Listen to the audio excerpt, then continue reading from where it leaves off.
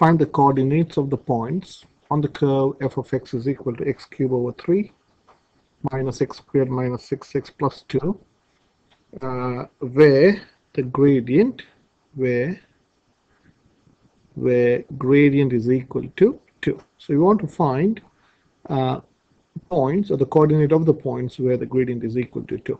So let's write the function. So f of x is equal to x cubed over 3 minus x squared minus 6x plus 2. So the question is f dash x or the derivative is given to be 2 and we want to find x or from x we can find y by putting uh, back in this equation. So these are the two things you've got f f of x and f dash x uh, is equal to 2 because the gradient is given to be 2. So let us first f dash x is nothing but dy by dx.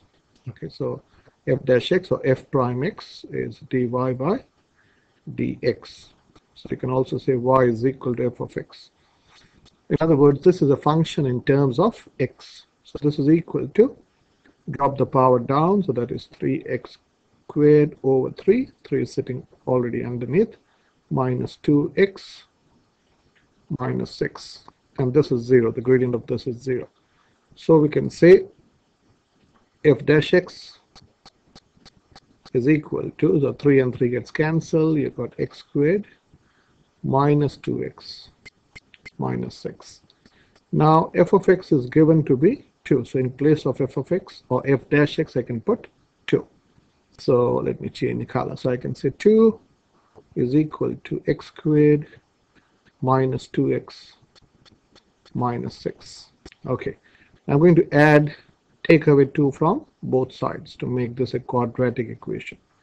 So if you take away 2 from both sides, you get 0 is equal to x squared minus 2x minus 8. So this is a simple quadratic equation. So I can say x squared minus 2x minus 8 is equal to 0. So you can factorize this. So this is x minus 4 times x plus 2 is equal to 0. So we can say x is equal to 4 or x is equal to negative 2. So when x is 4 or x is negative 2, your gradient is, the gradient is 2. We'll confirm that. So, but the question is, we want to find the coordinates of the points. We only found x, we need to find y. So I'm going to use my calculator to get the y coordinate.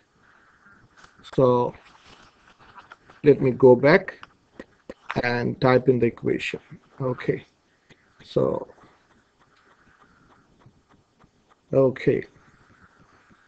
Okay, so uh, let us, uh, let me delete this and type in the equation so I can give x, x cube divided by 3 minus x squared minus 6x plus 2. Okay, my I know the points. I'll set my table from minus 5 to plus 5. Okay. So this will also confirm whether our answer is right. Go to table. So uh, which were the points? You got minus 2. Yep. At minus 2, it is 7 and 1 third. The gradient is gradient is 2. And the next point was 4. So so here this is minus 16 2 thirds and the gradient is 2.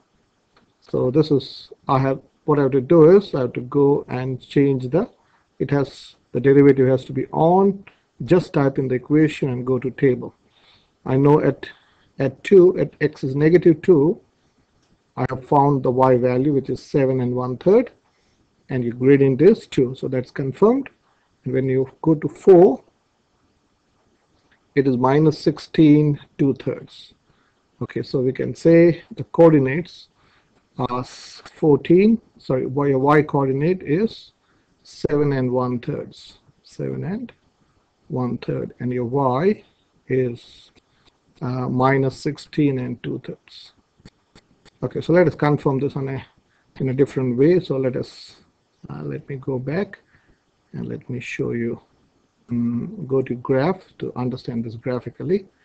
So you already have the equation sitting there. Okay, and this is the, so I'll make the scale standard 10 by 10 and see the graph is like this. Okay, so G solve uh, y calc when x is negative 2. Okay, so this at this point your gradient is gradient is 2. So there is a point somewhere here, okay, or somewhere down here. So G solve again uh, when uh, x is equal to uh, 2. Am I right? Or negative? Um, what's, which are the points? I keep forgetting the points. 4, negative 2 and 4, yeah. So G solve when x is equal to 4.